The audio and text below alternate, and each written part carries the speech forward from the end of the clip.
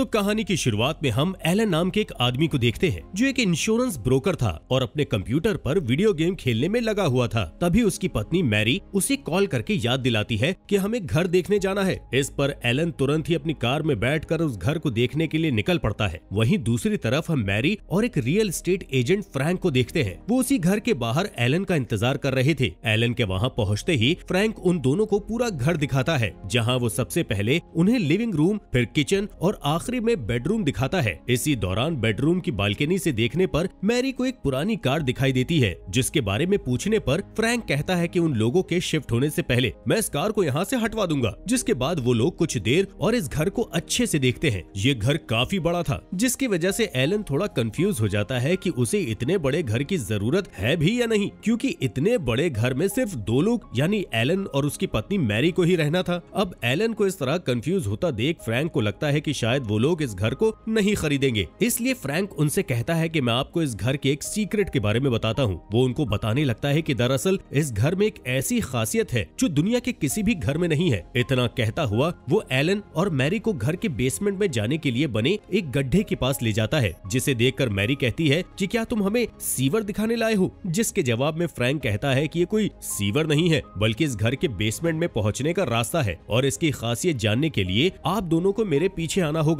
ऐसा कहकर फ्रैंक उस गड्ढे के अंदर चला जाता है, लेकिन मैरी वहाँ पर जाने से मना कर देती है, जबकि एलन फ्रैंक के पीछे चला गया था। लेकिन जब वो मैरी को अपने पीछे आता हुआ नहीं देखता है तो वो मैरी से वहाँ चलने की रिक्वेस्ट करता है, और मैरी को उसकी बात माननी पड़ती है। उसी वक्त पता नहीं क्यूँ फ्रैंक मैरी से उस दरवाजे को बंद करने को कहता है, जिसके ज़रिए ये लोग अंदर दाखिल हुए थे। वो कहता है कि ऐसा करने पर ही ये जगह अपना असली कमाल दिखा पाएगी। जैसे ही ये लोग बेसमेंट में एंट्री करते हैं तो वहाँ वो देखते हैं, पता नहीं कैसे वो बेसमेंट की जगह इस घर के फ़र्स्ट फ्लोर पर पहुँच गए हैं। ये चीज़ देखकर मैरी और एलन दोनों ही हैरान रह जाते हैं। यानी कि बेसमेंट का वो गड्ढा किसी वर्म होल की तरह काम कर रहा था, जिसने उन सभी को बहुत ही रहस्यमयी तरह से ऊपर वाले फ्लोर में पहुँचा दिया था। यहाँ एलन नोटिस करता है कि सुबह का समय है, जबकि वो लोग शाम के समय उस घर को देखने गए थे। वहीं मैरी भी इस बात को लेकर काफ़ी कंफ्यूज थी कि आखिर बेसमेंट में जाने पर वो लोग ऊपर के फ्लोर में कैसे पहुँच गए। साथ ही उन्हें ये भी लग रहा था कि शायद वो लोग किसी दूसरे घर में आ गए हैं, जिस पर फ्रैंक उन दोनों की कंफ्यूजन दूर करने के लिए बताता है कि हम लोग उसी घर में हैं और बेसमेंट में जाने का वो रास्ता एक तरह का टाइम ट्रेवल पोर्टल है, जिसने हम सभी को समय में 12 घंटे आगे ला दिया है। फ्रैंक दोनों को आगे बताते हुए कहता है की हम लोग पिछले शाम आठ बज के पंद्रह मिनट पर यहाँ अंदर आए थे और इस समय सुबह के आठ बजकर सत्ताईस मिनट हो रहे हैं मतलब की हम सभी अगली सुबह ठीक बारह घंटे के बाद आठ बजकर पंद्रह मिनट पर बाहर निकले हैं और तब से अब तक बारह मिनट का समय बीत चुका है।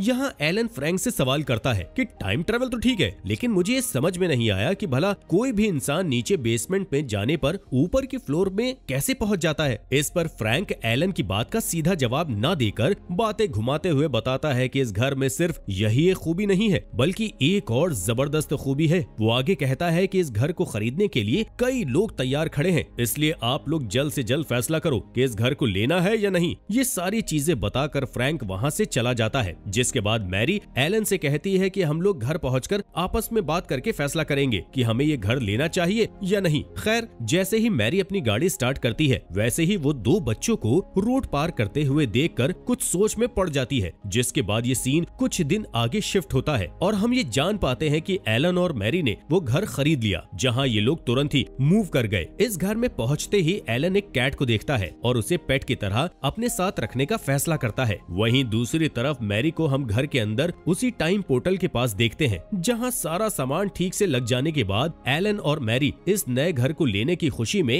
एंजॉय वगैरह करके सो जाते हैं। अगले दिन एलन अपने बॉस जिराल्ड और उसकी गर्लफ्रेंड जेनी को अपने घर में इन्वाइट करता है, जिस दौरान जिराल्ड की नज़र उसी पुरानी कार पर पड़ती है, जिसे अब तक फ्रैंक ने वहाँ से हटवाया नहीं था। क्योंकि जिराल्ड को कार काफ़ी पसंद थी तो वो एलन से कहता है कि तुम इस कार को रिपेयर करवा कर इसे इस्तेमाल करो, क्योंकि ये बहुत ही अच्छा मॉडल है। लेकिन एलन को कार का कुछ खास शौक नहीं था, इसलिए वो जिराल्ड की बातों पर ज़्यादा ध्यान नहीं देता। इसी बीच जिराल्ड की गर्लफ्रेंड जेनी एलन से मैरी के बारे में पूछती है, क्योंकि जब से वो लोग आए हैं, तब से मैरी उन्हें कहीं नज़र नहीं आई। इसके जवाब में एलन कहता है कि मैरी घर के अंदर है, और दूसरी साइड मैरी को हम उसी टाइम पोर्टल वाले बेसमेंट से बाहर निकलते हुए देखते हैं, जो दरअसल पिछली रात ही उसके अंदर गई थी, और अब जाकर वो बाहर निकली है। मैरी बाहर आके सभी से ये कहती है कि मैं नहा रही थी, जिसके बाद इन सभी को हम डिनर करते हुए देखते हैं, जिस जिस दौरान जेनी के ज़बरदस्ती करने पर जिराल्ड अपना एक सीक्रेट सबके सामने शेयर करता है। वो बताता है कि मैंने हाल ही में एक इलेक्ट्रॉनिक पार्ट का ट्रांसप्लांट ऑपरेशन करवाया है, जिसे मैं अपने स्मार्टफ़ोन के ज़रिए आसानी से कंट्रोल कर सकता हूँ। जहाँ जिराल्ड का ये राज सुनकर एलन का भी मन करता है कि वो भी इस घर के टाइम पोर्टल के बारे में सबको बताए। लेकिन इससे पहले कि वो जिराल्ड को बताना शुरू करता, मैरी उसकी बात काट देती है, क्योंकि वो नहीं चाहती थी कि उनके इस राज के बारे में किसी और को भी पता लगे। दरअसल जब फ्रैंक, मैरी और एलन से कह रहा था कि इस घर में टाइम पोर्टल के अलावा एक और भी खूबी है। तो उसने बताया था कि जो भी इस टाइम पोर्टल के ज़रिए बेसमेंट में जाएगा, हर बार उसकी उम्र तीन दिन और घट जाएगी। मतलब कि वो तीन दिन जवान हो जाएगा। यही वजह थी कि मैरी ने एलन को एक घर लेने के लिए फोर्स किया, ताकि वो इस पोर्टल के ज़रिए जवान हो सके। इसके कुछ देर के बाद जब जेराल्ड और जेनी अपने घर के लिए निकल जाते हैं तो मैरी एलन से कहती है कि, आओ, हम दोनों साथ में बेसमेंट में चलते हैं। जिसके जवाब में एलन बोलता है कि, मुझे कल ऑफ़िस जाना है, इसलिए मैं सोने के लिए जा रहा हूँ। यहाँ एलन के इस तरह मना करने से मैरी गुस्सा होकर अकेले ही उस पोर्टल के अंदर चली जाती है, जिसके बाद अगली सुबह जब एलन ऑफ़िस के लिए निकलने वाला था तो वो उस पोर्टल से बाहर आने वाले रास्ते पर जाके मैरी से बताता है कि मैं ऑफ़िस जा रहा हूँ। उसे यहाँ लग रहा था कि मैरी को उसकी आवाज़ सुनाई देगी। इधर ऑफ़िस में जब एलन किसी क्लाइंट से बात कर रहा होता है, तभी उसके बॉस जिराल्ड की असिस्टेंट आकर उससे कहती है कि जिराल्ड ने उसे अपने केबिन में तुरंत बुलाया है। इसलिए एलन तुरंत जिराल्ड के पास जाता है, जहाँ पहुँचते ही वो जिराल्ड से पूछता है की आखिर तुमने असिस्टेंट से मुझे बुलाने के लिए क्यों कहा? जबकि तुम मुझे फ़ोन करके भी बुला सकते थे। इस पर जिराल्ड एलन से बोलता है कि मैं उस असिस्टेंट को कुछ न कुछ काम देकर बिज़ी रखना चाहता हूँ। जिराल्ड एलन से पूछता है कि तुम मेरे इस सीक्रेट इलेक्ट्रॉनिक ट्रांसप्लांट के बारे में क्या सोचते हो? जिसके जवाब में एलन बोलता है की मुझे ये लगता है की ट्रांसप्लांट करवाना तुम्हारा निजी फैसला था। इसलिए तुम बिल्कुल भी चिंता न करो, क्यूँकी इसके बेसिस पे मैं कभी भी तुम्हें जज नहीं करूँगा। ये बात जानकर जिराल्ड काफ़ी खुश होता है। इधर दूसरी तरफ़ 12 घंटे पूरे होते ही मैरी उस बेसमेंट से बाहर निकलती है और फिर नहाने के बाद वो अपनी जवानी की फ़ोटो देखने लगती है, जिस दौरान उसे एक आइडिया आता है और वो पोर्टल से बाहर आने के रास्ते पर एक शीशा रख देती है, ताकि वो उसमें से जब भी बाहर निकले तो ये देख पाए कि वो कितना जवान हुई है। इसके बाद वो जल्दी से जवान बनने की चाहत में वापस से उसी पोर्टल के अंदर चली जाती है। उसी शाम जिराल्ड जेनी से अपनी और एलन की बातचीत के बारे में बताता है। वो कहता है कि मुझे ऐसा लगता है कि जैसे एलन की पत्नी मेरे इस ट्रांसप्लांट से कुछ खास इम्प्रेस नहीं हुई थी, क्योंकि उसने ये बात जानने के बाद कोई भी रिएक्शन नहीं दिया था। दूसरी ओर, जब मैरी उस पोर्टल के बाहर आती है तो वो देखती है कि एलन ऑफ़िस से घर वापस आकर सो भी चुका था। यहाँ उसे अपने पति के लिए काफ़ी बुरा लगता है, क्योंकि वो इस पूरे समय उसी पोर्टल में थी। मैरी एलन को किस करके जगाती है और उससे पूछती है कि क्या मुझमें कोई फ़र्क आया है? क्योंकि मैं तीन बार पोर्टल में गई, जिसका ये मतलब कि मेरी उम्र नौ दिन कम हो चुकी होगी, जिसके जवाब में एलन बातों को बिल्कुल भी ना घुमाते हुए कहता है कि तुम मुझे पहले जैसी ही लग रही हो। ये बात जानकर मैरी थोड़ा निराश हो जाती है। ये देखकर एलन उससे कहता है कि आज जब मैं ऑफ़िस से घर आया तो मैंने देखा कि कैट हमने जो पाली थी, वो इस पोर्टल के पास बैठकर कुछ इस तरह से बोल रही थी। मानो कि जैसे वो हमें किसी अनहोनी से सावधान करने की कोशिश कर रही हो। इसलिए मुझे लगता है कि हमें इस पोर्टल को पूरी तरह से सील कर देना चाहिए। यहाँ मैरी एलन की बातें सुनकर कहती है कि मुझे ऐसा लगता है कि तुम अकेले रहने के कारण फालतू की कहानियाँ बनाने लग गए हो और इतना कहने के बाद वो वापस से उसी पोर्टल में चली जाती है। जिसके बाद अगले दिन जब वो बाहर निकलकर शीशे में अपना चेहरा देखती है तो उसे कोई भी फ़र्क नज़र नहीं आता। वहीं उधर ऑफ़िस में एलन जिराल्ड से किसी काम के सिलसिले में बात करने के लिए उसके केबिन में आता है, जिस पर जिराल्ड ज़्यादा ध्यान न देते हुए अपने साथ शूटिंग प्रैक्टिस करने पर चलने के लिए उसको बोलता है, जहाँ बंदूक में कुछ खराबी होने की वजह से शूट करते ही जिराल्ड को एक ज़ोर का झटका लगता है और वो नीचे गिर पड़ता है। इसके बाद रेस्ट रूम में जिराल्ड के चिल्लाने की आवाज़ सुनकर एलन को उसकी थोड़ी चिंता होती है और जब दोनों कार में होते हैं तो जिराल्ड एलन से बताता है कि उस बंदूक के झटके की वजह से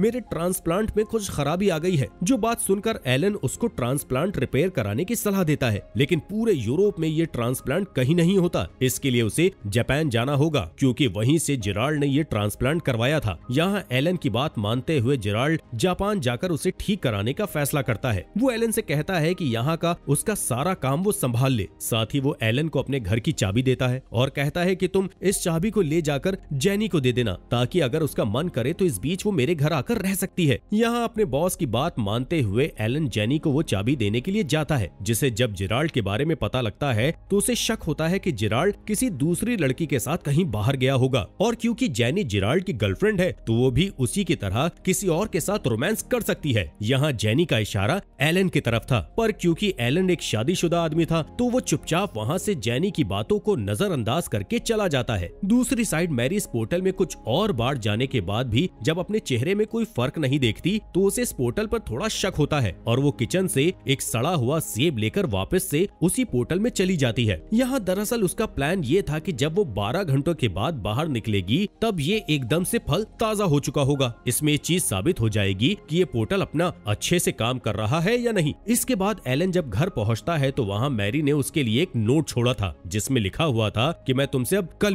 मिलूँगी यहाँ एलन को ये समझ में नहीं आ रहा था कि आखिर मैरी किस कल की बात कर रही है, क्योंकि अब वो पहले से भी ज़्यादा वक्त उसी बेसमेंट में बिता रही थी। एलन ये बात मैरी से वॉइस मैसेज के ज़रिए पूछता है। वहीं अगली शाम जब एलन सो रहा था तो मैरी उसे जगा कर वही सेब दिखाते हुए कहती है कि जब मैं सेब को अपने साथ ले गई थी, तब ये सड़ा हुआ था। लेकिन अब ये पहले की तरह एकदम ताज़ा हो गया है, जिसका ये मतलब है कि इस टाइम पोर्टल के ज़रिए सच में उम्र कम की जा सकती है। इसके ज़रिए हम दोनों हमेशा जवान बने रहने के साथ साथ अमर भी हो सकते हैं। मैरी एलन से आगे कहती है कि तुम किसी से भी इस घर के राज के बारे में न बताना। जिस बात पर एलन को गुस्सा आ जाता है और वो कहता है कि मेरे पास करने के लिए इससे भी ज़रूरी काम है, यहाँ पर दोनों पति पत्नी में बहस होने लगती है। जिस दौरान जैसे ही एलन उस सेब की एक बाइट लेता है, वैसे वो देखता है की उसके अंदर चीटियाँ भरी हुई है। इस चीज़ को देखकर एलन को मैरी की फ़िक्र होने लगती है और इसलिए वो तुरंत मैरी को लेकर एक डॉक्टर के पास पहुँचता है, जहाँ वो डॉक्टर ऐसी सवाल करता है की क्या ऐसा मुमकिन है कि किसी इंसान की स्किन के अंदर ढेर सारी चीटियाँ भरी हूँ। डॉक्टर ये अजीब सा सवाल सुनकर एलन की तरफ़ अजीब से देखता है और दोनों को वापस घर जाना पड़ता है। दरअसल एलन को ये डर था कि कहीं सेब की तरह ही मैरी भी ऊपर से तो जवान हो जाए, लेकिन अंदर से उसकी उम्र बढ़ती रहे, जिसकी वजह से उसके अंदर भी ऐसी चीटियाँ निकले। यहाँ एलन ये बात मैरी से भी शेयर करता है, जो जैसे ही घर पहुँचती है तो एक चाकू एलन को दिखाते हुए बोलती है की अगर तुम्हें अपनी सोच पर इतना यकीन है तो तुम मेरी स्किन को अभी इस चाकू से काट कर चेक कर लो। यहाँ एलन मैरी से पूछता है कि तुम फिर से जवान क्यों होना चाहती हो? जिसके जवाब में मैरी बोलती है कि मुझे जवान होकर अपना मॉडल बनने का सपना पूरा करना है, जो मैं पहले नहीं कर पाई थी। अब मैं इसे ज़रूर पूरा करूँगी। और इतना कहकर मैरी सीधा उसी पोर्टल में चली जाती है। इधर ट्रांसप्लांट ऑपरेशन कराते हुए जिराल्ड एलन को कॉल करके उससे कहता है की आज जैनी का बर्थडे है, इसलिए तुम एक अच्छा सा गिफ्ट लेकर जाकर जैनी को मेरी तरफ़ से दे दो। यहाँ अपने बॉस की बात मानते हुए एलन जैनी के लिए एक पर्स ले लेता है। दूसरी ओर डॉक्टर जिराल्ड से बताता है कि तुम्हारा ऑपरेशन सफल रहा, लेकिन उसके इतना कहते ही अचानक से उस इलेक्ट्रॉनिक ट्रांसप्लांट में एक शॉर्ट सर्किट होता है, जिससे डॉक्टर और जिराल्ड दोनों ही चौक जाते हैं। वहीं इधर एलन की मुलाकात फ्रैंक से होती है, जिसके पास जाकर वो उसे उस पोर्टल के बारे में बताते हुए पूछता है कि क्या कोई इंसान बार बार उस पोर्टल में जाने की वजह से पागल भी हो सकता है। इसके जवाब में फ्रैंक एलन को बताता है कि अगर उस पोर्टल से तुम्हें कोई दिक्कत हो रही है तो तुम उसे हमेशा के लिए सील कर दो। इसके बाद एलन सीधा जेनी को जेराल्ड की तरफ़ से गिफ्ट देने के लिए चला जाता है। वहाँ वो जेनी को किसी और के साथ देखकर वापस लौट जाता है।